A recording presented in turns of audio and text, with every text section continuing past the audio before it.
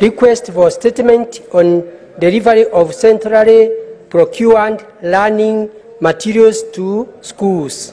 Mr. Speaker, sir, I rise person to standing order 53.1 to check a statement from the Standing Committee on Education regarding last mile delivery to, to schools premises of textbooks and other tuition materials that are centrally procured by the Ministry of Education under the Free Primary Education and Free What is a point of order, Senator Day The Secondary School Program. Senator Mundigi.